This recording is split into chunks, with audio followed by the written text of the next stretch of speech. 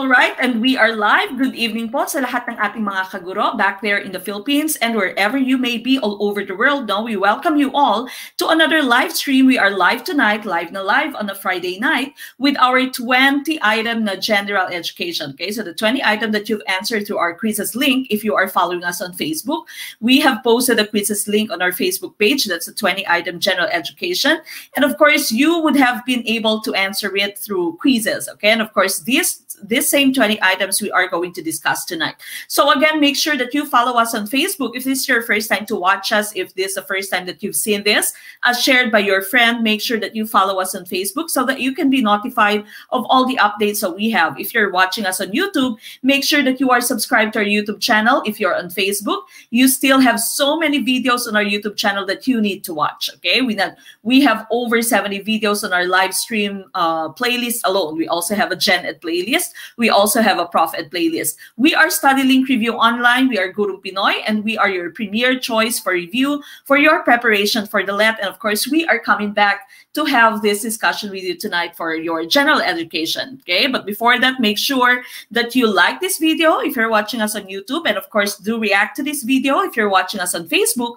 Share this video, start a watch party, tag all of your friends. Okay, now before we go any further, let us all start our night with our opening prayer. This still has been prepared for us by Brother Efren Esteban.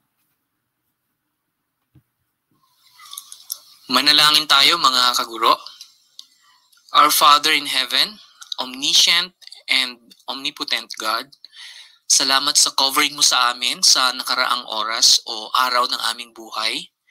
Humihingi po kami na muli mo po kaming samahan, Panginoon, sa aming pag-aaral sa oras na ito. Lord, ayon sa balita na aming napakinggan na na-reschedule na naman ang aming LET exam, marahil marami sa amin ay umasa ngunit pinanghinaan sa ngayon. Naghanda ng lubusan pero hindi talaga nangyari yung inaasahan namin. Lord, alam namin na may dahilan ka kung bakit hindi nagaganap ang isang bagay. Sigurado po na may dakila kang layunin para sa amin. Gusto naming iparating, Panginoon, na patuloy kaming nagtitiwala sa iyo. Kaya po, humihingi po kami ng lakas ng loob at kagalingan sa oras na ito. Opo, basbasan at patnubayan mo po kami lagi, Panginoon.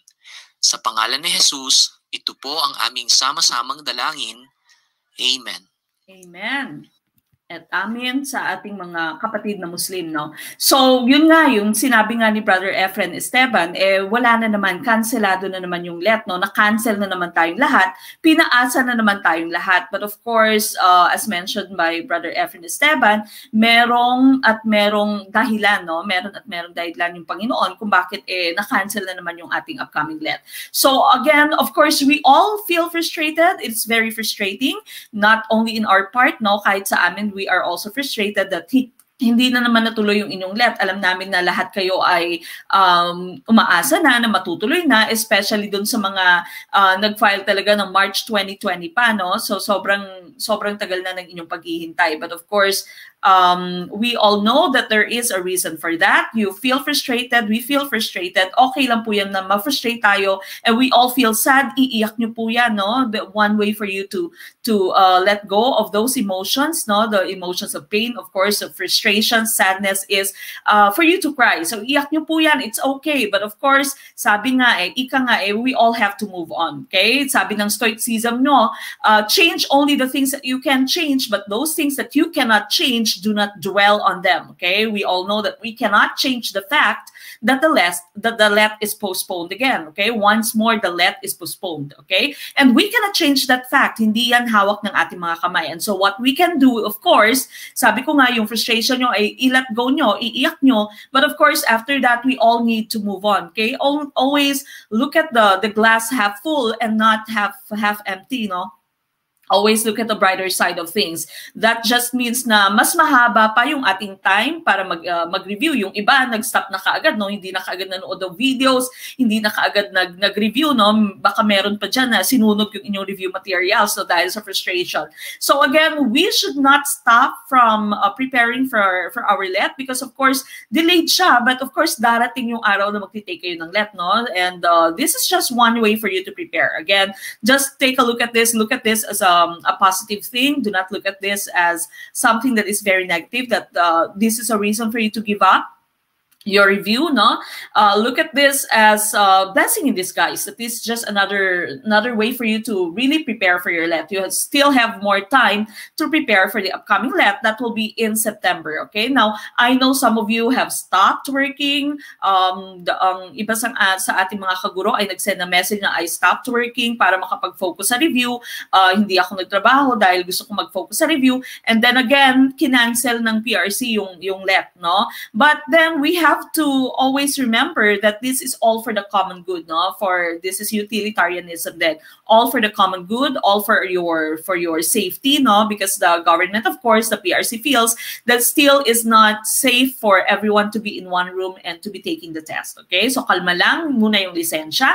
Ang importante po ay safe tayo. Ang importante po ay healthy tayo. Ang importante po ay buhay tayo. And of course, importante eh, meron kang kadate sa 14, no? Sa mga may kadate dyan. Hello. At sa sa mga uh, single naman, Meron pa po kayong ilang araw. Oh, meron pang 13 bukas po pwede pang humabol. But of course, pinapatawa ko lang kayo. And uh, as I was trying to tell you, no, this is just one way for us to really prepare for your let. And so, don't give up. Don't lose hope. Kapitan niyo po ang inyong pangarap. Tuloy lamang sa pag-let, uh, sa, pag, sa pagre-review for the let, no? Kung kami ng gurong Pinoy, eh, hindi nagle-let go at hindi, hindi uh, bumibitaw sa inyong pangarap, kayo pa kaya, okay? So, dire-diretso lamang po yung ating pagre-review. Again, your let is coming coming that is going to be in September, that's less than a year. Okay? Hindi ganun kalayo. Na-postpone lang siya pero hindi ganun kalayo. So again, sa mga nawalan ng trabaho, maaaring sinasabi ni Lord, it's okay anak, bibigyan kita ng better opportunities. Okay? So masakit mawala ng trabaho. Of course, we all know na napakahirap sa Pilipinas ngayon, napakataas ng bilihin. But of course, the Lord is going to give you another chance. Uh, the Lord is going to give you a better opportunity. Okay?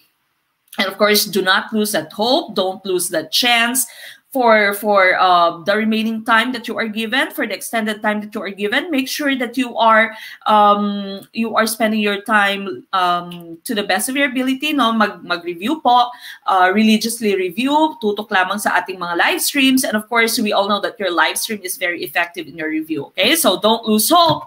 We are going to become LPTs okay? Very very soon. Now there is a very important announcement that we have tonight and this is a bittersweet uh, announcement because tonight we and grow. Okay? Wala na pong grow starting tonight. So we all say goodbye to Gurong Pinoy Review Online Work Group, our exclusive FB group for those of you who have been learning with us since this started, no? Sa mga 250 lamang yung mga binayad hanggang sa naging 500 yung ating payment for grow, hanggang sa naging 1,000 yung payment natin for grow. And of course, ngayon, iba na yung uh, naging payment ng mga previous students natin na kaka-add lang sa grow. So again, tonight, we say goodbye to grow. We are going to you grow, Gurong Pinoy Review Online Work Group. This has been our baby.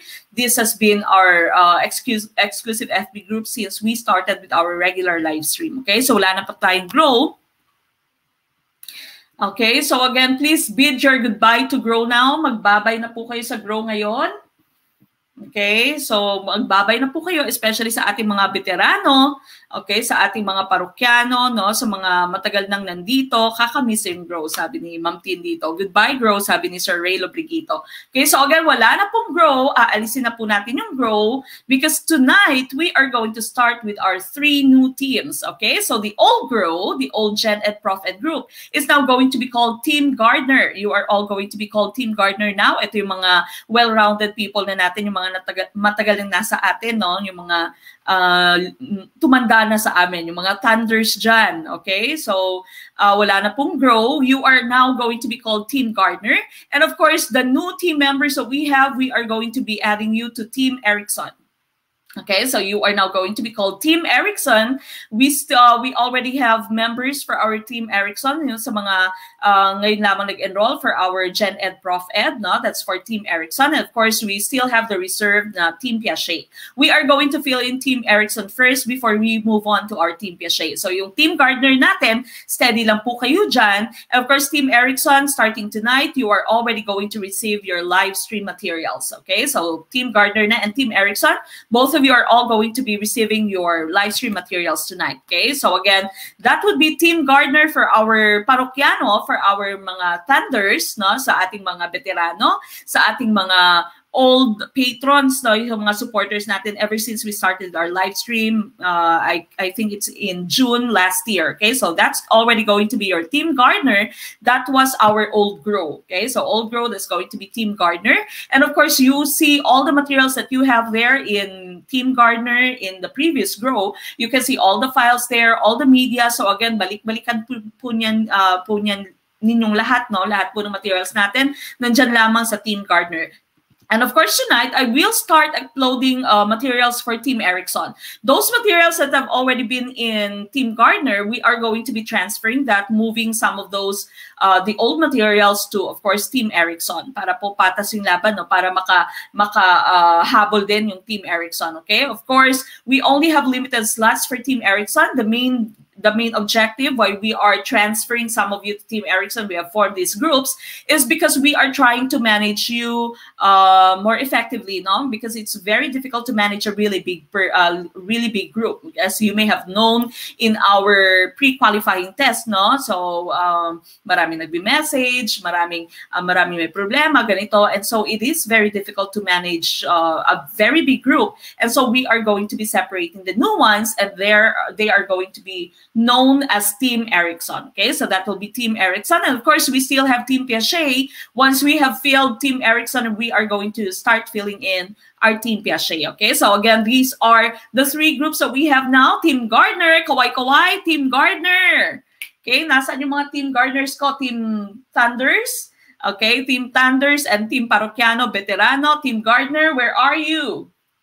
And of course, we have Team Ericsson, yung bago nating team, no? Yung ating mga babies ngayon, Team Ericsson, hahabol yan sila. And of course, they would also be doing very well in their um, licensure exam for teachers. And of course, Team Piaget, this is our reserve group, okay? Once we have filled in our Team Ericsson, we are already going to start filling in our Team Piaget.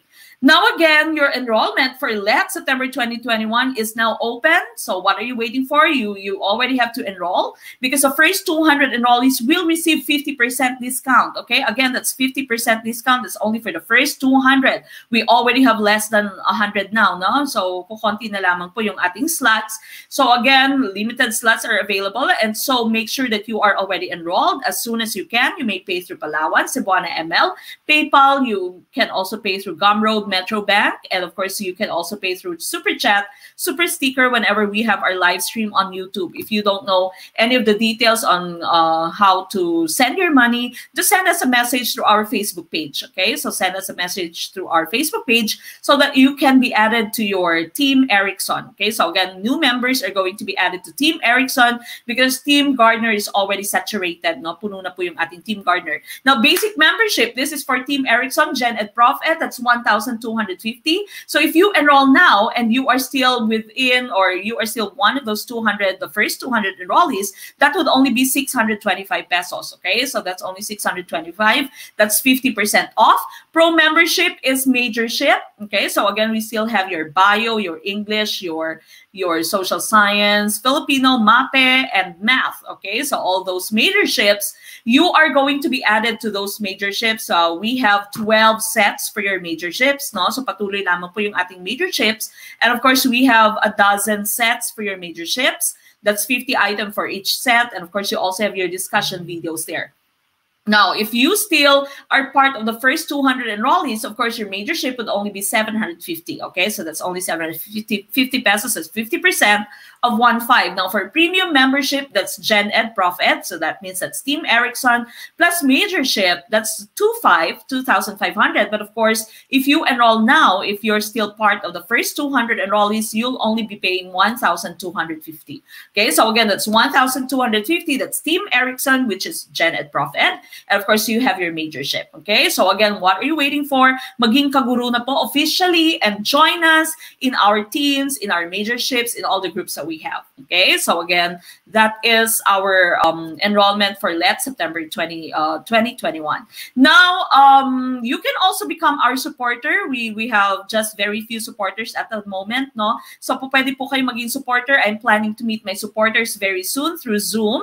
Okay, so all the supporters that we have, we are going to uh, meet you very soon. There is an option there. You just go to our Facebook page, and of course, you just you just click be, become a supporter and you can already be a supporter for grow uh, for, for not for grow for Gurong Pinoy okay? So please become a supporter lalong lalo na sa mga nagbayad ng 250 no? Sa mga unang-una 250 lang yung mga binayaran kaway-kaway baka naman po pwede kayong maging supporter natin. Okay? So again, supporters are going to receive freebies, are going to receive exclusive materials, are going to have meetings with me through Zoom exclusively. Okay? Only for our supporters. Some posts are also only for our supporters. Okay? So again, please become a supporter of Gurung Pinoy. If you think Gurung Pinoy is doing its best to help all of you, please be a supporter of Gurung Pinoy. Okay? So again, that is another program that we've started on our Facebook. This is another feature on Facebook. And please be a supporter of Gurung Pinoy.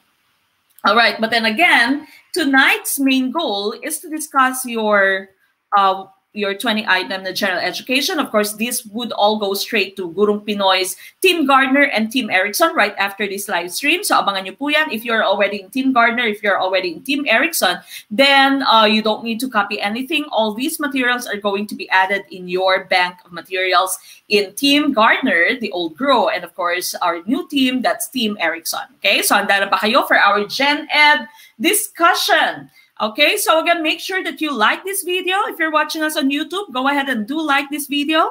If you are watching us on Facebook, then make sure that you've shared this video, started a watch party, tag your friends, because we are going to start with our general education discussion. Now, make sure again that you remember tomorrow night, we are going to have another 20 item Okay, for general education still, this is general education. All these items have been taken from the pre-qualifying test. Okay, so pre-qualifying test po ito. Yung mga items na kailangan i-discuss, kinuha ko po doon. I'm pretty sure a lot of our um, grow members before, no, our growers, those who have taken the pre-qualifying test ay nakapag 100 in this general education. Because of course, uh, this has already been in your pre-qualifying test. Maraming salamat, Ma'am Joy Dairit si Ma'am Joy kahit uh, wala pang supporter, no, consistent na may pakape.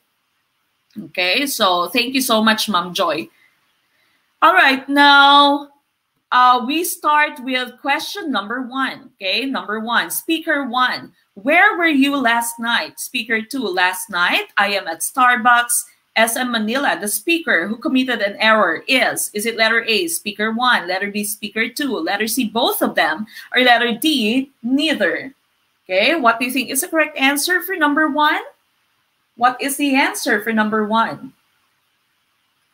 Okay, maraming salamat sa ating mga top fan dito. Ma'am Eileen Magno Cabrera Camahort, um, Ma'am Ukti Vang Jason, or Sir Ukti Vang Jason, Ma'am Cindy Kwong, uh, Sir Mark Louis Cerezo, maraming salamat po.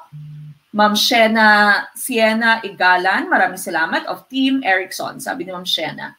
Sir Kinechi Lorbes, maraming salamat. Ma'am Karsuma Kasim Asan, maraming salamat po. Assalamualaikum sa ating mga Muslim brothers and sisters. Ma'am Jean Marie Bohos, Austria, maraming salamat. She's a supporter. Thank you so much po for supporting Gurong Pinoy. Thank you, Ma'am Jean Marie. Uh, huh? Ma'am Mera Joy Milo Bautista, thank you. Our top fan, Ma'am Maricris Mayandok Tamundong, maraming salamat po. Mm-hmm. Sir Romel Royo, maraming salamat for sharing our video. Sir Arnel Busmion, top fan. Thank you so much for starting the watch party. Ma'am Mary Jean Martinez Jaime, maraming salamat po for being a top fan. And of course, si Ma'am Mary Jean, napaka-sipag mag-answer ng mga questions doon sa mga comments natin. No? Minsan hindi namin maisa-isa. Maraming salamat, Ma'am Mary Jean. No? Nagiging secretary na si Ma'am Mary Jean. Thank you po. Ma'am Mercy Zerudo Ki Kiroy, thank you for sharing our video and for starting a watch party. Okay, now a lot of you are answering may letter B, may letter A. Okay, karamihan letter B. Ma'am Rowena Villarose Villarta, maraming salamat for sharing our video. Okay, so karamihan sa inyo letter B. Dito din. Okay, letter B, letter B din ang karamihang sagot ng ating team YouTube. Okay? And of course, the correct answer here would be letter B. That's speaker 2. Bakit mali yung, yung speaker 2? Sabi kasi dito ng speaker 1 mo, where were you last night? Saan ka last night? Okay? So, correct grammar, correct spelling. Sabi, sabi, sabi naman ng, ng inyong speaker 2, last night, I am at Starbucks, SM Manila. Now, uh, the, the wrong part here, of course, would be the linking verb na am. Okay? Was last night, so it should be I was at Starbucks, SM Manila. Okay, so it should be I, I was. And so speaker 2 is the correct answer for this question. Okay, speaker 2 po yung mali dito sa question na to. That's the, the answer, letter B. Now we go to number 2. I think one or two of the guests blank here now. Is it letter A, R, letter B, were, letter C, was, or letter D, is? What's the answer? Okay, what do you think is the correct answer? Ma'am Ruby Soliano, top fan, thank you so much. She's watching from Infanta, Quezon. Maraming salamat po. Ma'am Charlene Anladaw, thank you. Ma'am Aiza Grencio, maraming salamat. Ma'am Jeremy Vivelarde, maraming salamat po. Ma'am Lenny Hermoso, thank you. Our top, fans, Ma'am uh, Sir Isaac Clyde J. Mix, top fan, and started watch party. Ma'am Jingjing Etnerol, maraming salamat po.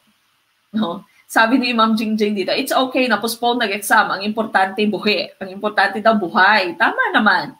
Ma'am Dolorosa Santaan, top fan, maraming salamat po. Thank you. Okay, what's your answer for the question that we have here? Ma'am Rosani Cayapas, top fan. Ma'am Edna Ballesteros, top fan. Thank you po. Okay, they're answering letter A.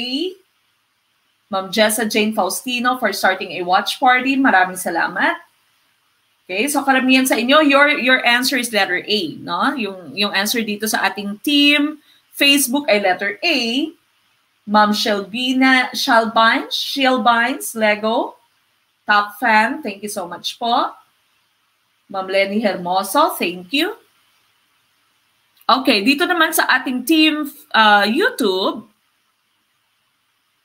mm, dito sa ating team YouTube, ganun din. Letter A din, yung kanilang sagot. And of course, that is the correct answer. Okay, so letter A, R, that's the correct answer. If you try to look at your sentence here, I think one or, okay, you have your conjunction or, pag meron pong or or, or nor, uh, the linking verb is going to follow the, the noun or the number that is nearest it. Okay, so kung ano po yung mas malapit sa yung linking verb, that would be followed by your linking verb no, in the number of persons that it should be looking into whenever you, you look at your sentence. So here, I think one or two of the guests, that's why our answer are, is is are, okay? Hindi po tayo po pwede mag-answer ng were because it says now, ngayon, no? So that means it should be in the present tense. So letter A, are, that is the correct answer, okay? So letter A, are, ang tamang sagot. Wow, kaway-kaway sa mga 2-0. Number 3, I want to find out which is better blank, Superman, X-Men, and Spider-Man? Is it letter A between, letter B from, letter C among, or letter D with? What's the answer? Ma'am Sheila Gitalan, thank you po. Top fan, Sir Ronnie Kilikon, top fan, thank you so much. Uh, Sir Mark Louis Cerezo, no, I've already read Sir Louis. Maraming salamat po. Ma'am Angel Indonto Ampos for sharing our video. Thank you so much. Ma'am Axel Rose Cosares for starting a watch party. Sir Alvin Jan Domingo, thank you. Ma'am Jennifer Mangunlay, our top fan. Ma'am Norsina May Abalos, Magain Tanhalin, top fan, and a watch party. Sir Nino Vincent Rojo, top fan. Uh-huh. Papaano po maging supporter? You go back po to our Facebook page later, right after this live stream. There's going to be a part there, no? Instead of follow or instead of like, meron pong part dyan na become a supporter. Okay, so you can click that po. All right, now what do you think is the correct answer here? Ang dami sa inyo dito, letter C ang inyong sagot. Okay, so Team YouTube is answering letter C. Uh, Team Facebook is also answering letter C. And of course, letter C is the correct answer here. Okay, I want to find out which is better among Superman, X-Men, and Spider-Man. Okay, we choose letter C here because we are trying to compare more than two people. Okay, so more than two of your your heroes we are trying to compare them. And so we cannot uh, we cannot really choose between because yung between is used only if you are comparing two people two things two objects okay? So here letter c is the correct answer. Among is the best choice since we are comparing three people okay? Not from not with not between okay? So letter c is the correct answer. Kawai kawai sa mga 3 0 Okay, number four, the school director suggests that the suspended student blank a written explanation. Is it letter A, makes, letter B, make, letter C, made, letter D, will make? What's the answer? Okay, ano kaya yung tamang sagot for this question here? Okay, what do you think is the correct answer? Marami yatang namali dito sa ating uh, pre-qualifying, no?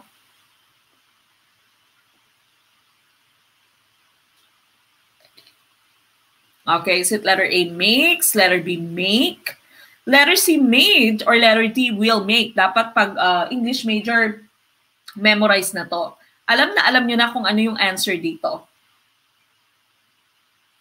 Okay, letter B. Karamihan letter B dito sa ating team YouTube. Okay, karamihan dito ay letter B ang sagot for team YouTube. Dito sa ating team Facebook, Okay, some of you are answering letter B, others letter D. May iba din namang iba ang sagot. Okay, karamihan dito sa ating team Facebook, letter D ang kanilang sagot.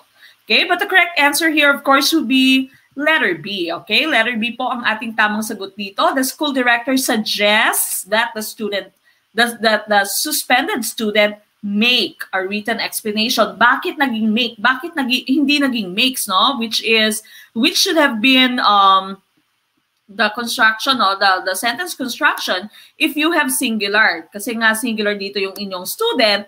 But what makes it make here is the term suggest, okay? Because we have the phrase suggest that somebody do something. Sa makatuwid po, dapat yung inyong verb ay base verb. Hindi siya does, no? I suggest that you do something.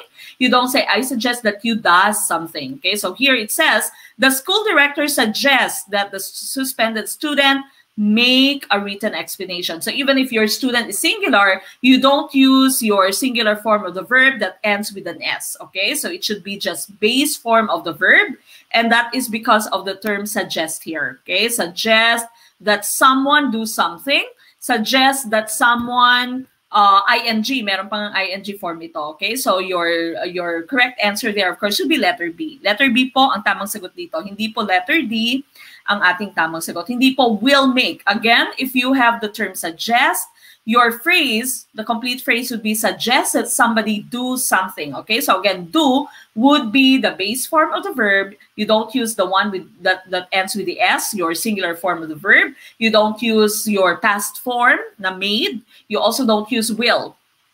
Okay, so of course that is that can be acceptable if we're just talking, but grammatically speaking, no, if we are ve being very strict with grammar, then the correct answer would be, of course, letter B. Okay, so letter B po, base form of the verb, that is the correct answer. So number four, letter B, that's the correct choice.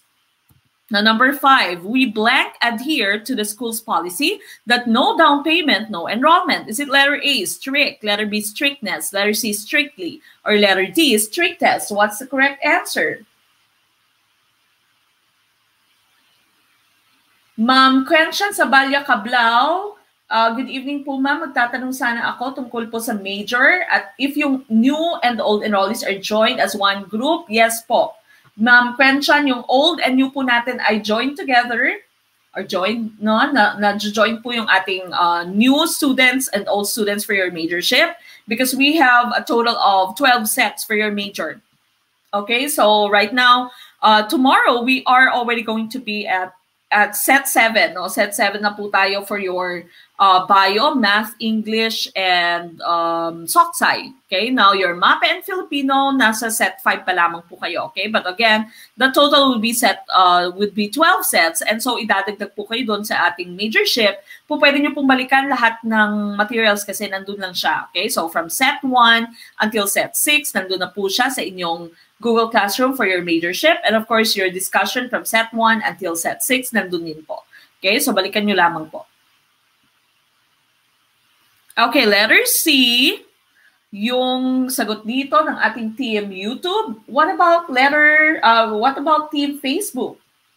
Team Facebook, okay, karamihan din letter C ang kanilang sagot. Letter C din yung sagot dito ng ating team um, team Facebook. And course, letter C, that is the correct answer.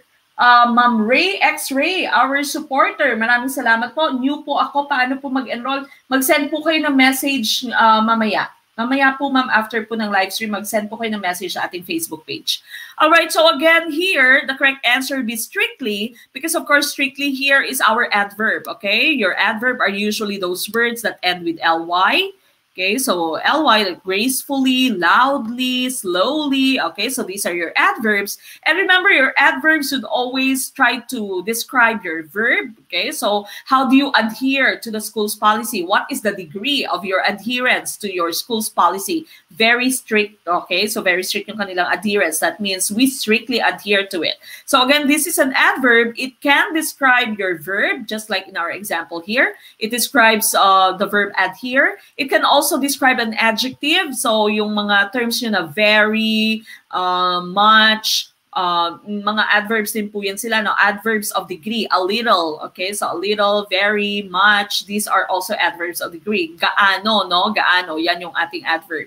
And so, uh, they can also describe your, your adjective if you are thinking of your adverbs of degree, like very little, much, uh, to, okay? Those are adverbs of degree. Po pwede din naman ng iyong adverb ay mag-describe ng another adverb. Okay? Another adverb. For example, you say, she walked very slowly. Okay? She walked very slowly. In your sentence, she walked very slowly. Your verb is walked. Your adverb na slowly is an adverb that describes the verb walked, and then of course your adverb of degree na very, it describes the, the, the other adverb, which is slowly, okay? So pwede siyang, your adverb can describe your verb, your adjective, and another adverb, okay? So here, letter C, strictly is the correct answer, not strict, not strictness.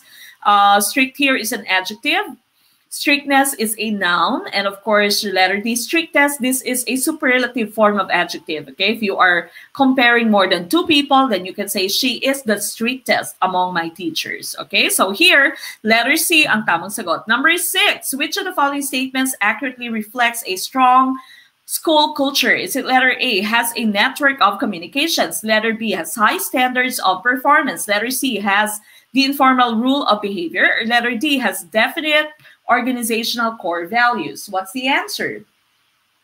Digwak-wak, sabi ni Sir Noel Hazareno. Okay lang po. Hindi pa naman left, no? So po pwede pang humabol. Mamalayha Agaw Uto. Maraming salamat po uh, for watching. She is in Cotabato, Poblacion 7. Okay, Poblacion 7. Thank you for the watch party.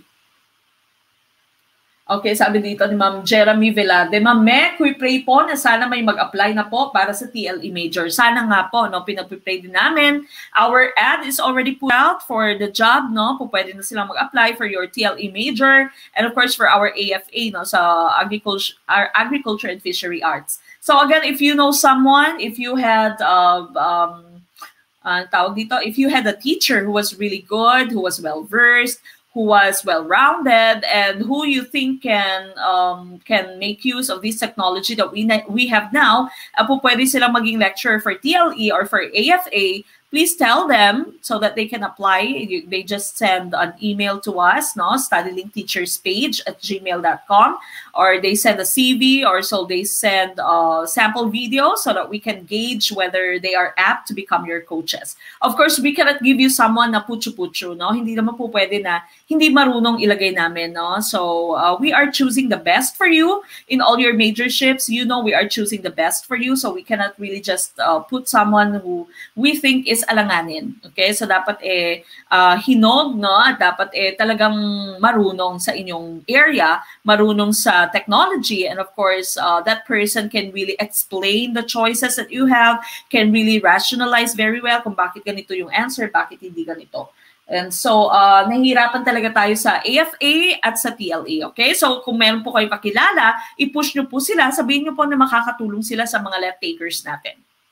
Okay? Maging advocacy nila na makatulong sa ating mga left takers. All right, now here, of course, our question is, which of the following statements accurately reflects a strong school culture? The correct answer here, of course, would be letter D. When you have a strong school culture, that means your organizational core values are set, they are definite, they are fixed, they're very strong, okay? So yung core values nyo should be really strong. That means pina-follow ng lahat, no? Nasa programs nyo, embedded sa programs nyo. And of course, uh, it is reflected in the actions of your administrators, of your teachers, and of course, of the students, okay? So letter D, that's the correct answer for number number 6 dito. Now, number seven, patients suffering from the malfunction of the kidney are now assisted by a machine that serves as an artificial kidney called blank. Is it letter A, hemoscope, letter B, homeostatic machine, letter C, pacemaker, or letter D, hemodialyzer? What's the correct answer? Aba, may mga nagre-reto na dito. Ma'am Tin Acabo, may papakilala ako sa iyo, Ma'am Buen, si Sir Gier. Naghahanap kasi yan naging kupido. Aha. Yes, napakadami nyo nga ma'am. Si Ma'am Mercedita makapagal dito sa ating Team YouTube. Napakadami po namin, ma'am namin na TLE Major. Yes po ma'am. But of course, it's very difficult for us to find again your TLE lecturer. We cannot uh, give you someone na hindi marunong no na, na you know, na imbis na makatulong sa inyo ay uh, makapagpagulo pa ng isip nyo, no? Masisi nyo pa yung gurong Pinoy. Ano ba naman tong lecture mo, Mamek, no? Hindi siya marunong, hindi siya na-prepare, uh, hindi niya siya marunong gumamit ng technology, for example. And of course, we are trying to to uh, find the best one for you know yung ika nga eh uh, naghahanap kami ng pinakamagaling para sa inyo okay so hopefully eh meron na meron na kayong mareto hindi lamang ka-date sa 14, ha? Yung uh, hinahanap natin pwede nyong ireto ay yung mga TLE na lecturer and of course AFA na lecturer. Okay, so again, number seven here. Number seven, patients suffering from the malfunction of the kidney are now assisted by a machine that serves as an artificial kidney called, the correct answer here, of course, would be letter D, hemodialyzer. Okay, this is the machine that is used in your dialysis, no? So dialysis. Yung hemoscope mo, of course, we know that in science, whenever you see the term hemo, this means blood. Okay, so hemo, like hemoglobin, the, the red pigment of blood. Okay, so this one is used in the study of your blood. Homeostatic machine mo, I think I have uh, the illustrations here. So this is your hemodialysis machine. No? This is a machine used whenever someone takes your dia dialysis. No? Napakamahal. Magkano na ba yung dialysis ngayon? No? Isang session ng dialysis is sobrang mahal. Of course, this is done to change the blood of that person no? para ma-cleanse yung blood ng taong yan kasi yung kidney niya hindi na nagfa-function. Kidneys are not functioning anymore. The kidneys are not filtrating the toxins anymore from the blood. Okay, so if you can see, those people who are undergoing dialysis, their their skin becomes yellowish, no? Dahil sa mga toxins nga sa ating katawan.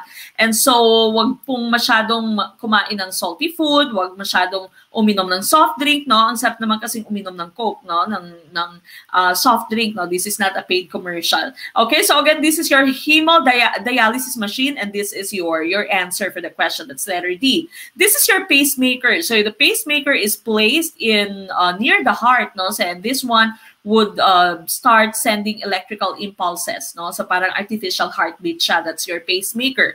Now, uh, okay, so that ends, no? So wala pala yung ibang ano natin. Yung homeostasis, uh, homeostatic machine mo naman, when you say homeostasis kasi, that is the internal state of balance within your body. So if you are uh, if you have fever, you should take in medicine so that your your temperature would go back to the normal body temperature, which is 37 degrees uh, Celsius. Okay, so that's your homeostatic machine. Ipapabalik niya sa sa normal yung inyong uh, inyong katawan no. So normal body temperature or uh, this is precisely the reason yung yung uh, homeostasis mo. This is a reason why after exercising no, nag-exercise ka, nagpapawis ka, sobrang pawis mo, nawala yung tubig sa katawan mo na lumabas nga through your sweat glands, um, through through the form of sweat, your body or you feel thirsty, no? Kaya nauuhaw ka, that is one way of your body telling you that you need to go back to your homeostasis. We need to maintain that internal state of balance. So you need to take in more water para ma-replenish yung mga tubig, yung water molecules na nag-leave sa body mo when you were exercising. Okay? So again, when you say homeostasis, that is the state of internal balance. So when you say homeostatic machine, one of our choices there. Ito yung machine that would eventually uh, help a person, a sick person, go back to its homeostasis. Okay? So, but then again, the correct answer be letter D. That's your hemodialyzer. Now we go to number eight. What is the type of response exhibited by the roots of plants? This is letter A, negative phototropism. Letter B, positive geotropism. Letter C, positive thigmotropism. Or letter D, negative thing, uh, geotropism. What do you think is the correct answer for this question? Uh-huh. Okay, I have a meeting at 8 o'clock with my principal. Okay, it's 7.10. So that means we have 50 minutes more. All right, so is this negative phototropism, letter B, positive geotropism, letter C, positive thigmotropism, or letter D, negative geotropism? What do you think is the correct answer? A lot of you are answering letter B on our team Facebook. Dito sa ating team YouTube, ganun din. Letter B din yung inyong sagot. And that is the correct answer, okay? Now, whenever you say tropisms, these are responses of plants to any type of stimulus, okay? So you term that as tropism. Now, you have several types of this, phototropism, geotropism, there's stigmotropism, hydrotropism. We'll go to the illustrations later. Now, ang pagkakaiba ng inyong positive at negative, when you say positive, that means that part of the body of your that part of your your plant is moving towards the stimulus okay? So pumupunta siya towards the stimulus but when you say negative then that means that part of your plant is moving away from the stimulus okay? So right here the correct answer would be positive geotropism. Of course geotropism because it is the response to to gravity. It is the response to to ground not to soil. Sometimes this is called gravitropism because it's also termed as the response to gravity. So that's geotropism or gravitropism because it is the response to gravity. But then again, it is positive because of course you know that your roots would grow towards gravity. Okay, so positive geotropism. Ang ating tamang sagot, hindi po negative geotropism. Now, these are some other types of tropisms that we have. This is phototropism. No? So your, your plants would always grow. This is positive phototropism. They'd always grow towards the source of light. Okay, so if you put a plant in on on a windowsill, your plant would always be turning towards the source of light, no? Kung ang sun ay ay nasa labas ng iyong bahay, your plant would always be turning towards uh, towards that direction. Kaya ito din yung nangyayari sa inyong sunflower, no? Yung sunflower mode also be changing the direction of the flower because of phototropism. This also happens say you are in Bohol, no? Pag nakapunta kayo ng Bohol and you pass through that artificial forest, yung man-made forest nila sa Bohol, no? Yung man-made forest, isa siyang uh, street isa siyang road na puno ng malalaking trees, no? You can see that all the trees are kind of bowing down. Nagbabow down yung, yung trees, not really, they're not really bowing down, but they're actually looking for a space through which they can catch some sunlight, okay? Kaya nasa center lahat yung, yung, um, yung, yung apex ng inyong trees, no? Nandun lahat sa center. Nagbi-meet sila sa center because they are trying to, of course, catch the sunlight. This is still another way of phototropism, okay? So again, this is positive phototropism. Now, this here is positive geotropism. That was our answer. Again, the roots of the plants would grow towards the source of gravity. Okay, so that's positive geotropism. But then again, your stems, your branches, your leaves, that would be negative geotropism. Okay, so negative po sila because they're not growing towards the ground. Okay, they are they're growing upwards uh, the opposite direction of your ground and so negative geotropism naman yung tawag sa kanila. And of course, for your thigmotropism, uh, we had a common topic there or common question there in your in your letno you see that the vines of your your plants are twisted or are curling on the poles and of course that is because of thigmotropism this is their um their response to touch okay? This also of course exhibited by your venus flytrap so if there is an insect there is a bug that gets into it your uh, venus flytrap is going to close okay? It's going to close ingest that insect this also, of course, manifested by your mimosa podica, your makahiya. Okay? So parang ikaw, no, pag sinusundot, nahihiya, nagpapakipot. Okay? So this is stigmotropism here. This is stigmotropism. All right, now we go to number nine. We always hear doctors warning us to limit salt intake. What is the effect of salt on, on cells? Is it letter A, salt punctures the cell? Letter B, salt makes cells swell? Letter C, salt clogs the cell? Or letter D, salt dehydrates the cell? What's the correct answer? Okay, what do you think is the correct answer for this question? Uh-huh. Okay, yan, yan yung naisip nyo, no? sabi dito ni Sir Daryl John Viray. Nasa ilalim kasi yung root, kaya akala ko negative. Okay? So again, when you say positive, papunta po siya sa source ng kanyang, sa, sa source ng stimulus, no? sa stimulus. Kung papunta siya sa direction ng stimulus, that will be positive. Okay? Pag away siya sa stimulus, that will be negative. Okay, now a lot of you here answering letter D sa ating team YouTube. Okay. Aha, si President Loreto na late ah. Busy yata sa work. Okay, dami late. May penalty daw yung late, sabi ni Ma'am Tin. Magbayad daw sa kanya yung mga late. Okay, dito sa ating team Facebook, ganun din. Ma'am Marife Sabadlab, maraming salamat for sharing our video. Okay, so letter D din ang inyong karamihang sagot dito sa ating team Facebook. And of course, that is the correct answer. Okay, so uh, we shouldn't be taking in a lot of salt because salt, again, can dehydrate your cell. Okay, let's take a look at the different types of solutions that you have. Remember, whenever you have your solution, you have your solvent and your solute. Okay, meron kang solvent, meron kang solute.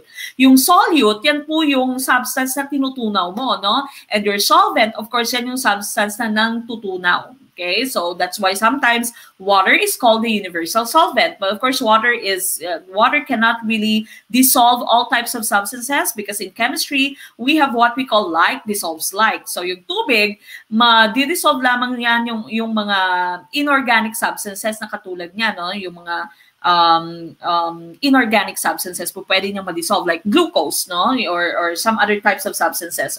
Glucose pala is organic, no? It has carbon.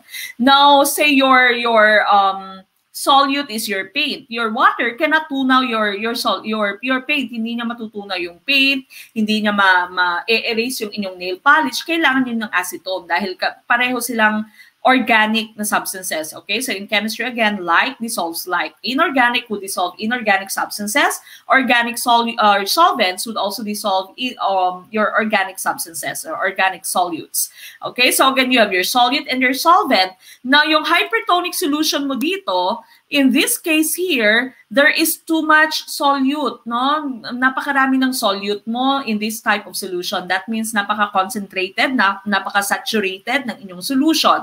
For example, uh, you imagine your solution to be really full of salt. Okay, so that's your hypertonic solution. Super full ng salt ang inyong solution. No? This is usually used whenever we are trying to buro yung mangga, no? yung mangga, yung hindi ko alam kung yung ta- hindi ko, kamyas, kamyas yata yung tawag sa inyo, no? Sa amin kasi iba, iba yung tawag, no? Ilalagay mo sa, uh, binuburo mo, nilalagay mo sa solution na sobrang dami ng asin. So that's your hypertonic solution. Your isotonic solution naman, more or less, yung amount ng solute in your solution is the same as the amount of solutes in your cell. Okay, so iso here actually means balance. And of course, your hypotonic solution, konting-konti yung solute mo, sobrang dami ng inyong solvent. So that means malabnaw siya, malasyaw siya, no? Sobrang dami ng ng tubig mo, konting-konti lamang yung solute no. Uh, solute mo, kunwari eh, nagtimpla ka ng juice, wala ng juice, no? Yung container mo, konting-konti na lamang, that's your hypotonic solution. Sobrang dami ng solvent mo in, the, in this type of solution.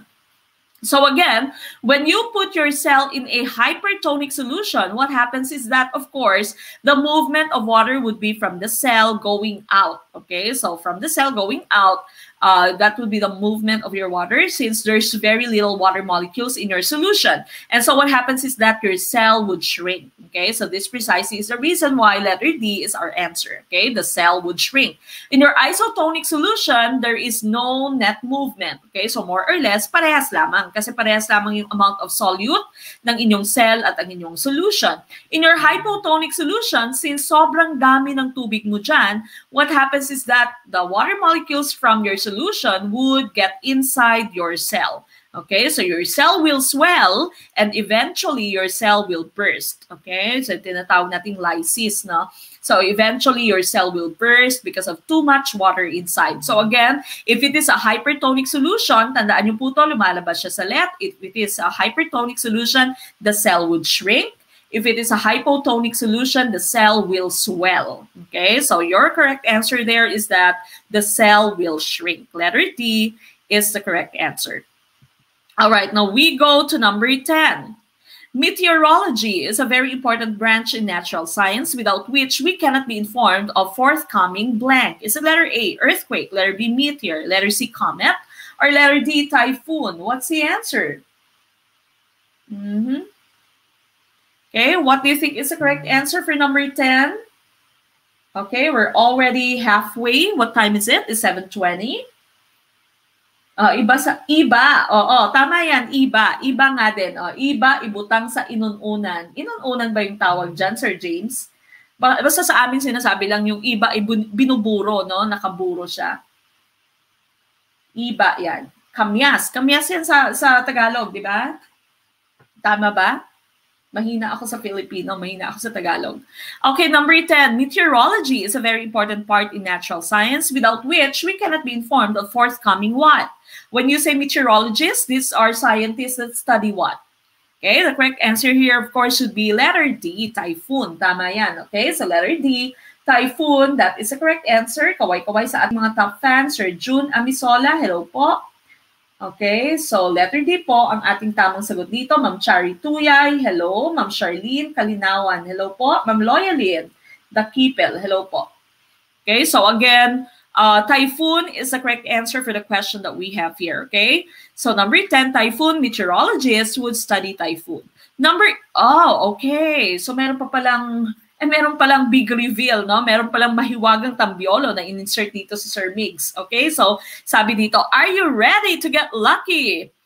Okay, so are you ready to get lucky? Now this here, this is not cash, no? I believe this is not cash. This is um, free enrollment. No? So free enrollment to sa ating Team Ericsson. So we are going to be uh, giving free enrollment for 12 total kaguro. No? So labindalawang kaguro ay magkakaroon ng libreng enrollment through our Magic Tambiolo tonight. Okay? So right now, what I want you to do, to, to do, of course, is to like this video if you're watching us on YouTube and comment your names. Now, I repeat, this is only for our Team Ericsson. Now, Team Ericsson ay magkakaroon ng chance for free enrollment Okay, this is free enrollment. No? So again, 12 lucky winners are going to be freely enrolled no, to our Team Ericsson, the new new batch of our uh, growers. And of course, it's only for Team Ericsson, pero makakasali din po yung ating mga Thunders. Okay, so what you can do again, pag kayo ay Thunders, kayo ay member na ng Team Gardner, po pwede pa rin kayong sumali because you are going to be given a gift certificate no, po pwede nyong i-transfer to another person. So po pwede yung pagkakitaan Okay, po pwede nyong ibenta actually. Okay? Ano, akala ko free Valentine's gift, sabi ni Sir Daryl dito.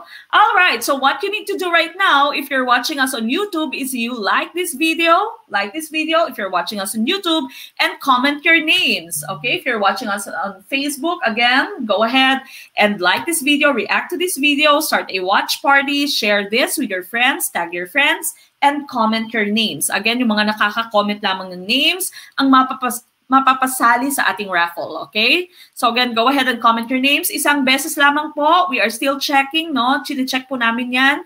Uh, kahit na ilang beses yung i-comment yung names nyo, isang beses pa rin po siya ilalagay sa ating tambiolo, okay? So, uh, we do check kung um, nandyan na yung name mo, hindi na po po pwedeng ulit-ulitin nyo pa, okay? So, isang comment na lamang po. All right, so again, this is a chance for 12 lucky winners to become a member of Team Erickson for free. If you are a veterano, if you are a parokyano, nasa Team Gardner ka na, po pwede mo pa rin po itong i- ibenta, no? So you can give this to one of the students, no? Po pwede mo pagkakitaan. Po pwedeng uh, uh, ibenta mo tapos less the amount of the actual amount that we have for enrollment. Okay. Uh, President Loreto Agbayani, Balikaw Jr., hindi alam kung ano yung Team Gardner. Lost si Sir, no? Uh-huh. All right, once again, go ahead and comment your names and we are going to end in three, two, one. Okay, so that's it. Sarado na po ang ating tambiolo. We move on to the next slide that we have. Okay. And of course, the, um, the Magic 12 ng ating winners are going to be drawn tomorrow. Okay? So, tomorrow na po, ilalive ko na lang, no? Since, ilalive ko na lang siguro Pinoy na page since nagahang yung ating device if we are doing your tambiolo online on the live stream. Okay, 11. The interaction between living organisms and non-living elements in the environment is called A or N. Letter A, species. Letter B, population. Letter C, community. Letter D, ecosystem. Again, we are looking here for the interaction between your living organisms, your biotic factors, and your non-living elements, no, like temperature, wind, your um, altitude, etc. No living organisms, that's again your biotic factors, and your non-living elements, your abiotic or abiotic factors. What is this called? Is it letter A, species, letter B, population, letter C, community, or letter D, ecosystem? What's the answer? Okay, ano kaya yung tamang sagot? Okay, karamihan sa inyo, ang sagot nyo ay letter D. And the correct answer here, of course, would be letter D. That's the ecosystem. Ecosystem, of course, we know this to be the interaction between the biotic factors, the living organisms, and the abiotic factors in your ecosystem, the non-living elements in your ecosystem or in your environment. So correct answer, of course, here would be ecosystem. Now, make sure that you still know, you still remember the different levels of organization that we have. Of course, you know that your atoms are the building blocks of matter. Matter is anything or everything around us no everything around us is matter. Anything that uh, that occupies space that means it has volume and has mass is matter okay? So the building block of matter of course would be your atoms. When your atoms get combined they can form a molecule. And now out of these molecules here it is believed that the first form of your cell existed from these molecules okay? And of course you have the cell the basic unit of structure and function in living organisms. And of course you have if you have a group of cells working together to uh, form a group. Uh, they have the same function, the same structure. That would be called your tissue. Remember, you have four types of tissue, your muscular tissue, your epithelial tissue, connective tissue, and nervous tissue. Okay, I'm pretty sure I've already discussed this. I'm pretty sure I've already posted this on our live stream and also uh, not on our live stream, on YouTube, no? So balikan niyo po yan. And I'm sure nandiyan na rin siya sa ating Facebook. Okay, so four types of tissue. Again, muscle, the muscle tissue, epithelial tissue, connect connective tissue, and of course your nervous tissue. Now, if you have tissues forming groups and performing the same function, you'd call that the organ, okay? Now, again, remember the largest internal organ in our body would be the, the liver, and the largest organ, okay, overall, total largest organ, or to, uh, the largest external organ would be the skin, okay? So that's the organ if you have organs working together to perform one specific function, then you call that the organ system, several types of your organ system that we have, digestive system, nervous system, reproductive system, no, yung paborito nyo, reproductive system, yung um, circulatory system, excretory system, so many types of systems in our body. No, I think there's a total of 14 organ systems. Then, of course, all these organ systems are working together to keep an organism alive. Okay, so that's an organism. If you you have a group of organisms belonging to the same species, then you call that a population. Okay? So lahat tayo ngayon na nakikinig ay isang population. Wala namang multo sa atin, wala namang ahas dito, no? Wala namang pusa, wala namang daga sa atin, walang panike. Okay? So again, lahat ng mga nakikinig dito sa ating live stream, this is a population. Okay? That's a population.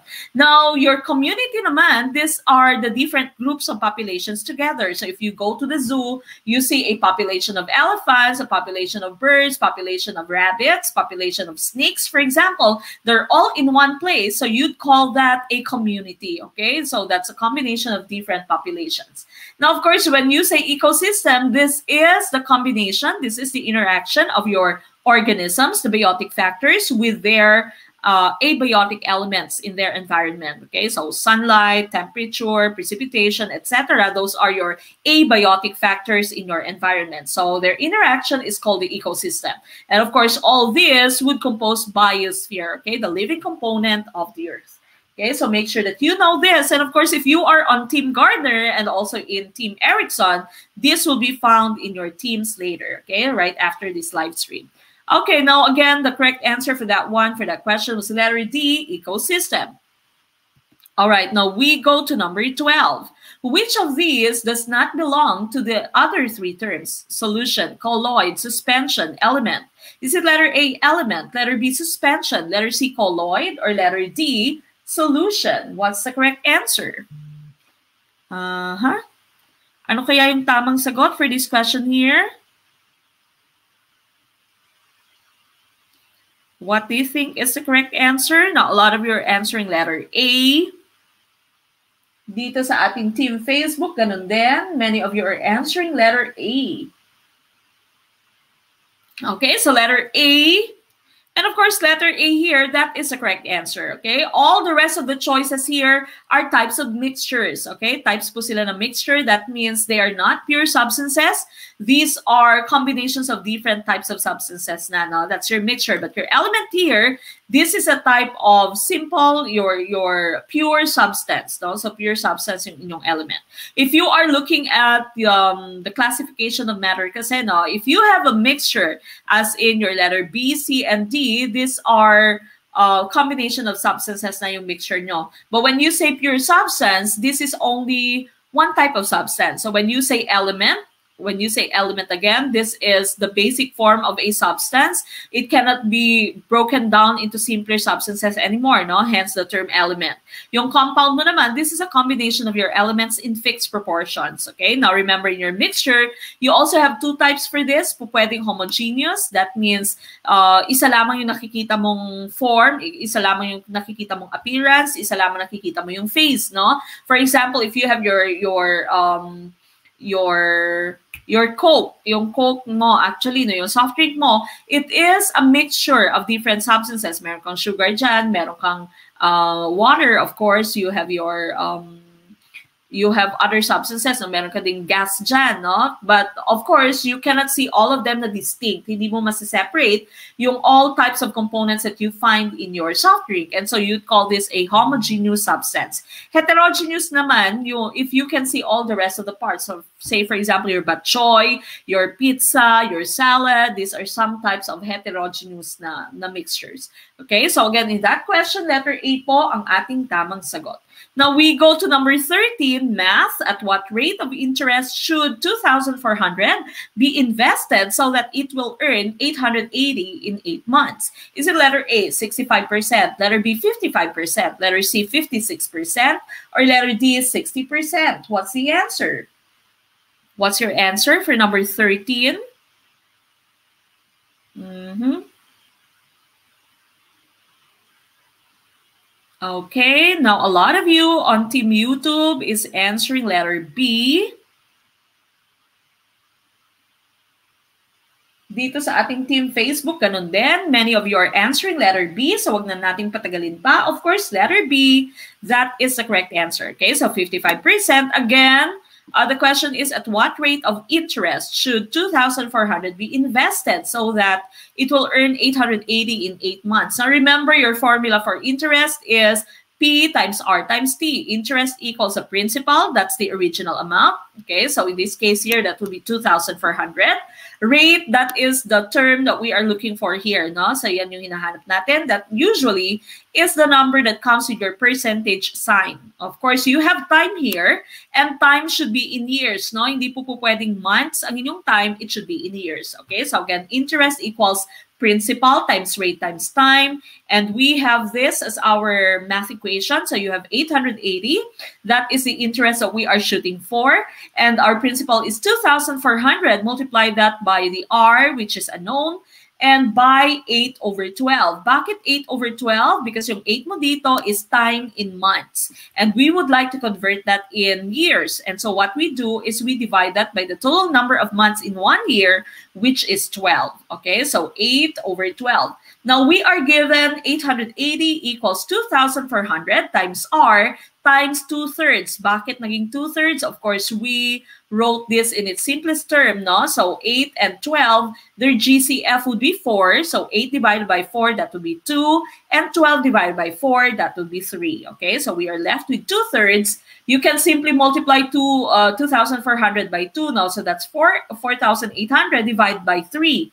Okay, so that would be the next step that we have. So 880 equals 4,800 divided by 3 times R. R still is the unknown. Okay, so 4,800 divided by 3, we are left with 1,600 R. So again, yung 1,600 niyo dito, nanggaling siya sa 4,8 divided by 3. Okay, so 880 equals 1,600 r because we are still multiplying this by r. So again, now we are going to try to isolate r because that is what we are looking for. So that means we are going to divide both sides by 1 6. Okay, so dividing both sides by 1 6, we are left with 880 divided by 1 6 equals r. And so the correct answer there would be 0.55. If you write this in your rate form, percentage nano, that would be 55%. You simply move the decimal point two times to the right, and of course, you add the percentage sign. Okay, so that's why 55% is the correct answer for this question. That's letter B, okay? Again, if you are on Team Gardener, sa Team Gardener natin, mga parokyano, mga thunders, and of course, sa ating mga babies sa Team Erickson, this would all go straight to your teams right after this live stream. So you don't need to really uh, copy anything. Okay? So again, if you are still not a member of any of our teams, what are you waiting for? Magpa-member na po kayo right after this live stream. Send a message through our Facebook page and ask us how we can help you pass the. Okay, now we go to number 14, Filipino. Napaka uh, napakadali, no? Napaka-common na itong question na to. Ponema, ang tawag sa makabuluhang tunog ng wika. Ilan ang ponemang Filipino? Okay, so we have the choices. Letter A, 28. Letter B, 20. Letter C, 21. Or letter D, 31. What's the answer? Okay, what's the answer for question number 14? Welcome po sa mga kaka-tune in pa lamang, no? Welcome po. And of course, we are studying Gurong Pinoy, your premier choice of preparation for your licensure examination for teachers. Right after this live stream, if this is your first time to watch us, make sure that you send a message to our Facebook page. Just send a message. You can even just choose uh, the messages there that you can send us. Of course, there will be automatic replies, okay? If you'd want us to help you become an LPT soon in September after your September LET, make sure that you send us a message to our Facebook page after this live stream and become a member of our Team Gardener. Oh, not, not Team Gardener anymore because we're already full for Team Gardener. You can become a member of our Team Ericsson. Okay, so again, first 200 enrollees for Team Ericsson will still get 50% discount for our review. Okay, so 50% discount po for our team. Ericsson, Team Gardner is already over 800, uh, 800 people. No? So that's why we already decided to make another group because your group, Team Gardner, is already um, uh, saturated. No? Napakarami na, 800 plus na tayo sa ating Team Gardner. All right, so again, what's the answer for this question here? A lot of you are answering letter C. And of course, that is the correct answer. Okay, so we have uh, 21 uh, isang ponema sa ating wikang Filipino. No? Sa ating wika, meron po tayong dalamput isang ponema. No? Uh, labing lima sa kanila would be, uh, or labing anim sa kanila ay katinig at labing, uh, or lima ay patinig. No? So lima sa kanila patinig, your vowels. And of course, labing anim sa kanila are your katinig or your consonant. Okay, so letter C, 21, that's the correct answer. Okay, now number 15. Kung anong bukang bibig siyang laman ng dibdib, ito ay isang uri ng, is it letter A, tugmaan, letter B, tula, letter C, bugtong, or letter D, salawikain? What's the answer? Okay, Ma'am Arlene Bularon, sabi dito. Ang swerte natin, daming discount ni Ma'am. Okay, so again, Ma'am Suhaila Di Makaling, paano po maging member? Right after this um, this live stream po, ay mag-send po kayo ng message through this Facebook page. Okay, so saan po kayo, kung saan po kayo nanonood ngayon ng live stream, mag-send lamang po kayo ng message. Okay, so again, um, you said there's so many There's so many discounts, no? especially yung mga parokyano natin. Yung unang-unang naging members ng ating grow pa dati, no? ay nagbayad lamang po sila ng 250 pesos. So hanggang ngayon, eh, member pa rin sila. Mag-iisang taon na, no? member pa rin po sila ng Team Gardener na ngayon. So again, uh, kapit lamang kayo. Huwag niyong bitawan ang inyong pangarap. No? Huwag niyong bitawan yung pag-asang magiging magiging matagumpay kayo. Malapit na po yan. No? So don't lose hope. And of course, don't lose focus. No? uh, uh, maaaring nawalan kayo ng focus, ng motivation dahil na na postpone naman yung let. But this is just a challenge to all of you no? Sabi ng Panginoon eh pinapahinog ko lang yung regalo ko para sa iyo anak okay? So mag-focus lamang. Continuously review no? If this is your first time to watch us we have over 70 videos in our live stream playlist on YouTube. So balikan niyo po yan lahat. Uh, thousands of questions that we have rationalized no? So balikan niyo po yan lahat again Okay, so what is the correct answer here? Is it letter A, tugmaan, letter B, tula, letter C, bugtong, letter D, salawikain? So again, as I mentioned, some of you just uh, paid 250 sa mga sobrang veterano, no? So sobrang parokyano natin. Unang-unang naging members ng GROW, 250 lamang po yung kanilang binayaran. So baka naman po pwede kayong maging supporter. Okay, so again, yung our supporters are going to be receiving exclusive materials and we are going to have our meetings through Zoom very, very soon. Okay, so, so to all our supporters, maghintay lamang po kayo. We will be setting our meetings through Zoom soon. Okay, so we can um, discuss all of your concerns. All right, now of course the correct answer here would be letter D, that's salawikain. Okay, so kung anong bukang bibig, siyang laman ng dibdib. Sabi natin yung mga salawikain nga, pag sinabi mong salawikain, ito yung mga ating mga kasabihan, no? yung mga sinasabi nila sa bowel judgmental, may kasabihan, naniniwala sa kasabihan. No? So yung mga salawikain mo, ito yung mga may, makaka, may, may mapupulot kang aral. No? So sabi natin, salawikain, sala, kasalanan ng lolo at lola dahil galing ito sa mga pangaral aral ng inyong lolo at lola. Iba ito sa tinatawag nating sawikain. Yung mga hugot lines nyo ay sawikain na yan. Hindi siya salawikain. No? So salawikain again, these are your kasabihan. Ito yung mga, mga makakapulutan natin ng aral. Okay, so letter D, salawikain po ang tamang sagot dito, saying, no, kasabihan. All right, now we go to 16. Ang salitang apartment ay binubuo ng dalawang cluster. Tukuyin ang mga ito. Is it letter A, RT at TM? Letter B, TM at NT? Letter C, RT at NT? Or letter D, PR at TM? What's the answer? Okay, what do you think is the correct answer for this question? Paano po maging supporter, Ma'am Mac? That's coming from Ma'am Charlene Kalinawan. Again, for you to become a supporter right after this live stream, balikan niyo po yung ating Facebook page. There is a button there just very near your follow and like. Doon po sa pinaka-ibabaw, no? kung saan niyo makikita yung follow and like buttons niyo. Meron pong choice doon na become a supporter. Okay? So you can become a supporter of um, Gurong Pinoy, just like Ma'am Jeneline Abuel Alejandria. Supporter na po siya ng Gurong Pinoy. Maraming salamat po, Ma'am Jeneline. At magkita po tayo soon. All right, now what do you think is the correct answer? A lot of you are answering letter C. Okay, and of course, that is the correct answer to this question here. Salitang apartment ay binubuo ng dalawang cluster. When you say cluster, kasi, ito yung dalawang magkakasunod na katinig, no? your consonants, two consonants that are neighboring magkakasunod na katinig, that would be your cluster. So here, in your term or in your word apartment, you have RT and NT. Okay, so therefore, the correct answer is letter C, RT at NT in question number 16. So 16, letter C, that's the correct answer. Now we go to number 17, mag-aalas 5 na, patlang umaga, patlang magising siya. Is it letter A, nang, N-A-N-G, hyphen N-G, letter B, N-A-N-G, N-A-N-G. Letter C, N-G, N-A-N-G. Or letter D, N-G, N-G.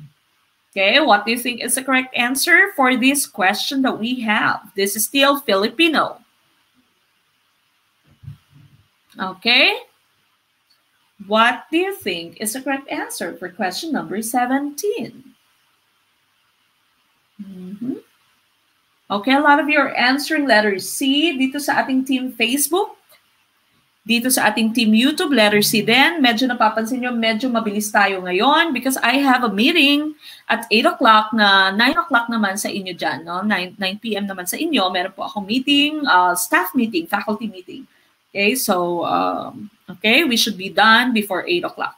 All right, now, a lot of you are answering letter C, and of course, that is the correct answer. Okay, so mag-aalas 5 na ng umaga, your nang here na NG, this is always followed by a direct object. Okay, so, uh, merong, um, yung kasunod niya lagi ay yung bagay, no? Isang direct object, no? So bagay niya. Hindi bagay as in uh, as in thing, ah, but this is bagay in the sense na it is a direct object. And yung nan nyo naman, this is followed by your verb, no? So yung NANG mo na, na nang, it would function as an adverb. Gaano siya gumising, no? Nang magising siya, okay?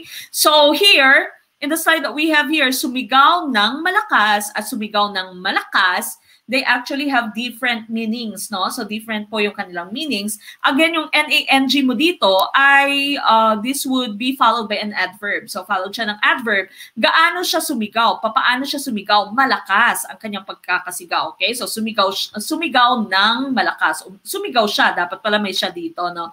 Sumigaw siya ng malakas. And so that should be uh, followed by your your uh, adverb, no? Ga paano siya sumigaw, gaano siya sumigaw, that should be malakas ang kanyang pagkakasigaw. Dito naman, sumigaw siya ng malakas. Ibig sabihin nito, ang sinigaw niya mismo ay malakas. Baka siya naman si maganda, no? Hinahanap niya si malakas. And so there really is a big difference between your NG and before your NANG, no? So magkaiba po sila. Again, your NG here would be followed by the direct object, okay? And your NANG would be followed by your adverb. Okay, so sumigaw ng malakas, gaano siya sumigaw? Malakas ang kanyang pagkakasigaw. Sumigaw siya ng malakas, ano ang kanyang sinigaw? Ang sinigaw niya ay malakas. Okay, so that's your differences between NANG and NG.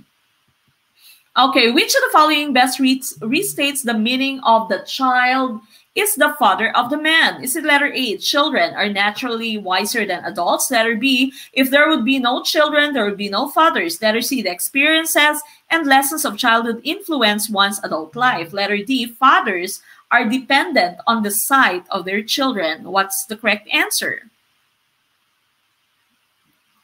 Okay, what is the correct answer for the question that we have here? Bagani. Ano itong bagani?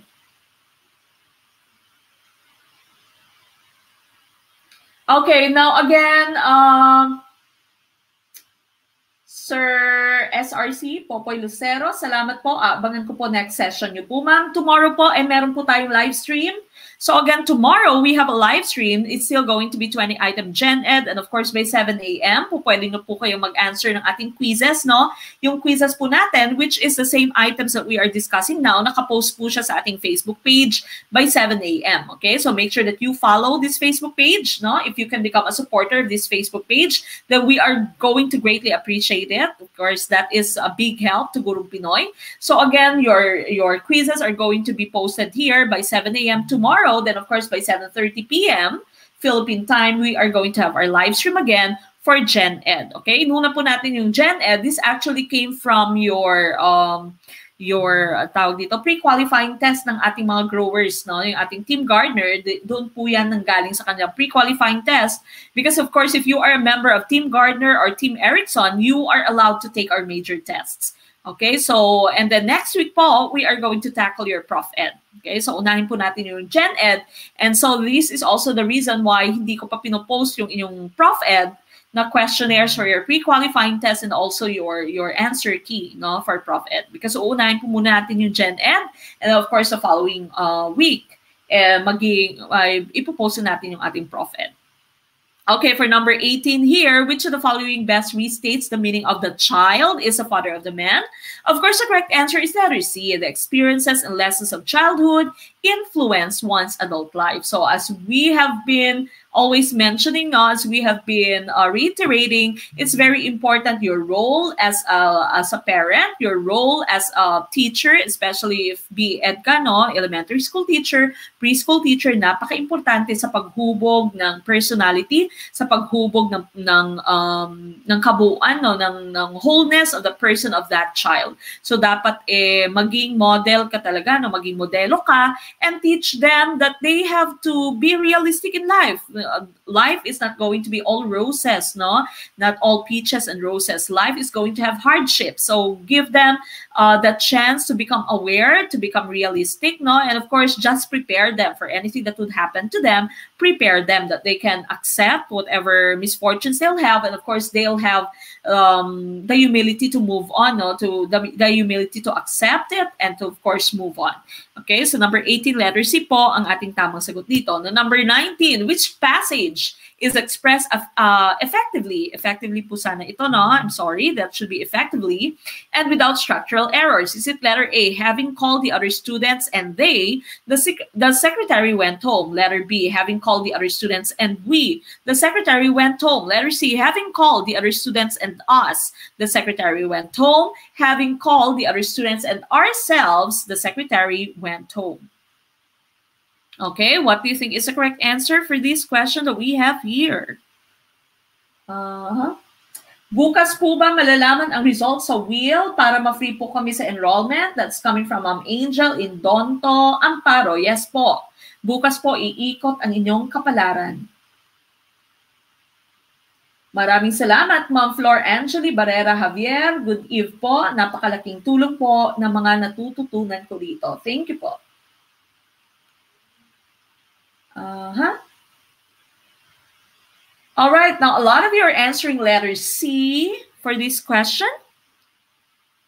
Uh, at dito din sa ating uh, team YouTube, karamihan ang sagot ay letter C. And of course, letter C here, that is the correct answer, okay? Because we use they and we as subjects. Okay, so subjects po yung gamit ng they and we mo dito. In your sentence, it says, having called, okay, you have the verb called. And so we are looking for the objective form, no? Objective form of the term we or they. And so that is the term as. Okay, so as would be the correct answer here. No, hindi then ourselves because of course our, if you are talking about ourselves that would be your your first degree first degree of talking okay? So having called the other students and us the secretary went home. So again they and we are used as uh, the subjects of the of the sentence. So in this case here you cannot choose they and we because you are actually objects here because of the verb called no? Naging uh, object kayo ng verb na na called. And so us is the correct answer here. This is letter C Okay, now here, I have some exercises here. Let's just do it fast. The president is he or the president is him? Which one do you think is the correct answer? One or two? Comment your answer. One or two. Mamalaiha Agaw Uto. Hello po. Watching from Cotabato. Hi po, Mam uh, Malaiha. Assalamualaikum. Okay, what do you think is the correct answer? One or two? The president is he or the president is him? One or two? Okay, some of you, most of you are answering one sa ating team YouTube. Sa ating team Facebook, ganun din. The answer is one, and one here is the correct answer. The president is he. Because you can actually um, uh, rewrite your sentence as he is the president. Okay, so subject, predicate siya, no? Subject, uh, nominative. Subject nominative siya. So that should be the president is he or he is the president. He here is the correct answer. What about in our second pair? I invited he or I invited him? One or two? One or two. I invited he or I invited him. What do you think is the correct answer? Mamalaiha agauto. Paano po sumali sa quiz? Again, as I've mentioned po, Your quiz is going to be posted on this Facebook page. So make sure that you are following the Facebook page so that you can be informed, okay, whenever we post anything. I invited here, I invited him. The correct answer is I invited him because here, of course, we are looking for the object of the verb invited, okay? So here, him is the correct answer. What about the third pair? Let's you and me or let's you and I? Okay, let's you and me or let's you and I. What do you think is the better choice? Uh-huh. What's the better choice for the third pair that we have? Is it one or two? One lets you and me, or two lets you and I? Uh-huh. Many of you are answering number two. Dito sa ating team YouTube, hati. No, may one, may two. Okay, of course, the correct answer here would be sentence two. Sentence two, let's you and I, let's you and I. It, kaya nga nasa song ito, no? Let's you and I. So, let's you and I po yung tamang sagot dito. Okay, hindi po let's you and me, let us, you and I Okay, so um, I po yung tamang sagot dito for this third pair that we have. What about the last pair that we have? It was easy for Anna and I, or it was easy for Anna and me? Is it one or two? Nasa last pair na po tayo. Last pair. It was easy for Anna and I, or it was easy for Anna and me? What do you think is the correct answer? Okay, a lot of you are answering uh, number two. Okay. Number two, dito sa ating team Facebook, may mga one, may mga two. We are already at the last pair. Last pair na po tayo. It was easy for Anna and correct answer is me. Okay, so tama po yan, Sir Nemuel. Mag-send na po kayo ng inyong data, Sir Nemuel. Okay, so that your your prize would be sent to you, no? Sa mga uh, hindi pa pala nakakatanggap yung ating raffle tickets, yung previous natin na raffle tickets and of course sa ating top 20, no? Mag-send na po kayo ng inyong info. Yung iba po sa inyo wala pang information. Of course, we cannot send uh, the prizes if you don't send your your information. I think Sir Mix is waiting for the rest of the information. So mag-send na po kayo. It was easy for Anna and me because of course we are looking for the object of the preposition for. Okay, so object ng preposition. Basta may preposition po, dapat ay objective form yung inyong gamitin, hindi I. Okay, so it was easy for Anna and me. All right, so again, um, these are all going to be found on Team Erickson, sa Team, er sa Team Erickson natin, yung ating bagong babies. And of course, ating Team Gardner, yung ating mga parokyano, mga ating mga uh, veterano, no? Uh, this will all be found in your your classroom later uh, your Facebook page pala later, no, your Facebook group na Team Erickson and Team Gardner, so you don't need to really worry. And of course, I'm going to save these markings here para alam nyo kung ano yung tamang sagot. All right, now last question, 7.55 na. Okay, which sentence clearly and effectively states the idea and has no structural errors? Is it letter A, the interest at a loan company is higher than at a bank? Letter B, the interest at a loan company is higher than a bank. Letter C, the interest of a loan company is higher than a bank. Or letter D, the interest of a loan company is higher than in a bank. What's the answer? Okay, a lot of you are answering. Again, for those of you who are still, uh, still asking how to enroll, uh, just go back to our Facebook page and, of course, send a message to our Facebook page so that you you will have the information on how you can enroll. And of course, for this item here, the correct answer is letter A. Remember in your sentence structure, no, in your sentence construction, in your English, there should be parallelism. Dapat eh parallel ka. Interest at a loan, uh, at a loan company higher than at a bank. Okay? So yan po dapat yung letter B mo kasi yung interest at yung bangko yung kanyang um, kinompare, no? I will not go into the details of the rest of the choices, but the correct choice here is letter A, at and at. Okay? So again, remember, there should be parallelism. All right. Now, um, that ends tonight's live stream. I'm uh, really sorry. I need to uh, be in a hurry because I have a meeting. No, I have a faculty meeting at 8 o'clock and we only have four minutes left. Okay? And so we end tonight's session with our closing prayer. Again, tomorrow night, we are going to have our live stream at 7.30. Your um, quizzes is going to be posted by 7 a.m. on our Facebook page. All right, samahan niyo po ako sa ating pangwakas na panalangin. Muli po tayong manalangin, mga kaguro.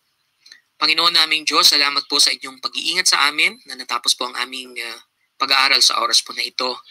Sa amin pong pansamantalang paghihiwalay, sana po ay pagkalog mo sa amin ang mabuti naming kalsugan, ang kagalingan, ang talino po na nanggagaling po sa inyo. Bigyan mo din po kami ng pasensya, Panginoon, na maghintay.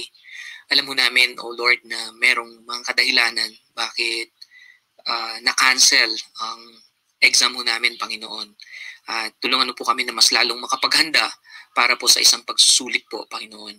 Pagpalain mo po ang family ni Ma'am Meg, ni Sir Ram. Pagpalain mo po ang Gurong Pinoy. Pagpalain mo po ang bawat nandito, member po sa uh, review center po na ito, Panginoon. Huwag mo po kaming pababayaan, Panginoon. At sana po ay pagpalain mo po kami lalo upang sa ganon, eh, maabot namin ang mga pangarap namin, Panginoon, mga mitihin namin. Salamat po sa lahat at sana po ay dala namin ang kapayapaan, ang pag-ibig, sa aming mga puso, Panginoon. Sa pangalan ni Jesus, ito po ang aming sama-samang dalangin. Amen. Amen at amen. Maraming salamat, Brother Ephraim, for always preparing our opening closing prayers whenever we have our live streams. So again, for your questions, queries, if you want to follow our Facebook page, go ahead and follow our Facebook page. If you can become a supporter, of course, we'd appreciate it. Be, become a supporter of uh, Gurong Pinoy. This has been Coach Mac of Gurong Pinoy. Magkita-kita po tayo muli bukas, 7.30pm. Of course, 7am, you can already start answering your quizzes.